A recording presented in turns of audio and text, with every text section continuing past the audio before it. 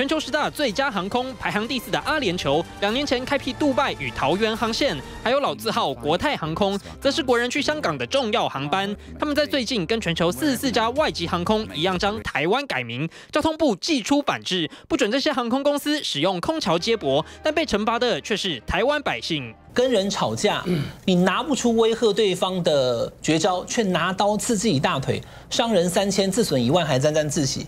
交通部长吴鸿谋说：“对国家主权被侵犯，必须有反制措施，包括国泰航空及阿联酋在内，全球四十四家航空改名中国台湾，通通要抵制。其他十一家航空，像是日航，仅取消台湾，却未写中国，就能获得奖励。惩罚手段包括不停靠空桥、调整航班时间带、增加旅客不便。奖励措施则有降落费及设施使用费等，每次约五万元的规费减免。政策一曝光，马上被骂翻。吴鸿谋紧急改口。”暂缓实施，因为时间带被改，在晚上的红眼航班到了台湾没有空调，他可能到他拿到行李那一刻啊，已经天亮。请问一下，你伤到谁？伤到第一个自己台湾人，第二个观光客。政府官员用伤害旅客来对抗大陆，却不考虑自己手上握有多少筹码，有勇无谋，被看破手脚。记者黄明君、郭光军台北报道。